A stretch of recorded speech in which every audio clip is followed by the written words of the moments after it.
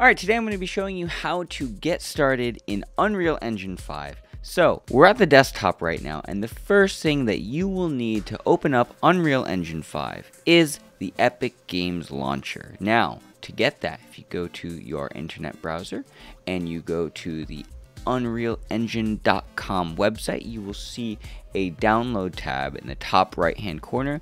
You will have to download this and get started. You will need these specs. We're not going to get super technical today, but I'm assuming you know how to download some software onto your computer. So download the Epic Launcher and then the next thing you're going to need to do is you're going to open up the Unreal Launcher. So what's really cool about the Epic Games Launcher is that it not only comes with Unreal Engine, but also has a bunch of different games that you can purchase. So now that I have my installer up and running, you should install your Epic Games Launcher. You will have the store where you can navigate, see all the games that you could buy, go to your library. I have Fortnite and Rocket League, which are free and Star Wars Battlefront, and then, of course, Unreal Engine. Now, the Unreal Engine tab will also appear here. Now, if you don't have this, you might need to go into your settings of your launcher. So you can go to the top right hand corner and then go to settings and you might need to enable it here. So let's go to the Unreal Engine tab of the Epic Games Launcher. Now you'll see a bunch of different tabs here.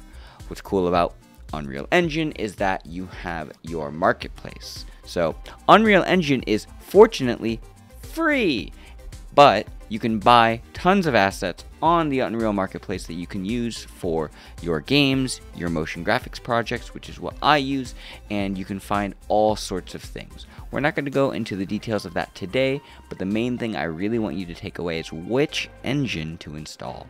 So when you go to the library tab of your Epic Games Launcher, you will see your engine version up here. I have a bunch of different versions installed. You install a new version of the Unreal Engine by clicking on the little plus sign right here. And I highly recommend going with the latest and greatest 5.0.2 and I'm recording this as of June 2022 so it might be newer whenever you're watching this but I highly recommend downloading the latest version of Unreal Engine. After that, if you have any projects that you've already done, you'll see your projects down here. And the really cool part about the Epic Games launcher with Unreal Engine 5 is the Vault.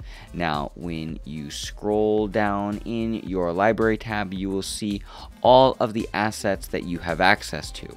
Now, one of the really cool parts is as you purchase assets from the Unreal Marketplace, they will be in your vault down here. And then the very convenient button right next to all of your assets down here is the add to project button. So you can have a project running and you're like, you know what?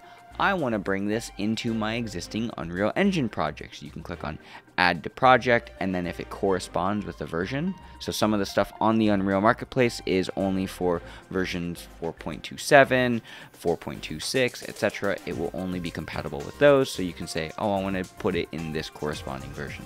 So you do have to watch out for that. Now I do have a tutorial coming that will showcase how to bring an older version of Unreal content into Unreal Engine 5, but we're not going to talk about that today. So you can just add any of your Vault assets into your Unreal project. And then the cool part is you can hit the launch button and get started with Unreal Engine 5. Now I'm cutting it off here because I want to keep this tutorial short. Check out the next video of this series and you can find out how to start an Unreal Engine 5 project. Thanks for watching. I'll talk to you soon. Eat one gram of protein per pound of body weight, and you'll make some gains. Goodbye, my friends. Bye.